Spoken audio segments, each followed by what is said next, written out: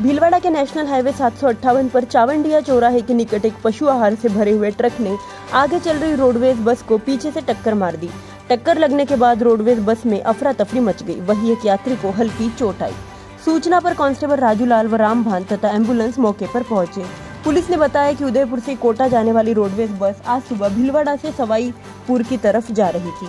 इसी दौरान चावंडिया चौराहे के निकट पीछे से आ रही पशु आहार से भरी हुई एक ट्रक ने रोडवेज़ बस को पीछे से टक्कर मार दी, जिससे रोडवेज़ बस में कुछ देर तक अफरा तफरी मच गई और लोगों की चीख पुकार मच गई। वहीं इस हादसे में बस में सवार बारह निवासी नरेश घायल हो गया, जिसको एंबुलेंस की मदद से सवाईपुर चिकित्सालय लाया गया, जहाँ प्राथमिक उपचार के बाद छुट्टी दी। सूचना पर पुलिस मौके पर पहुँची। वही यात्रियों को अन्य वाहनों से रवाना किया तथा दुर्घटनाग्रस्त वाहनों को अपने कब्जे में लेकर पुलिस चौकी लाकर खड़ा करवाया।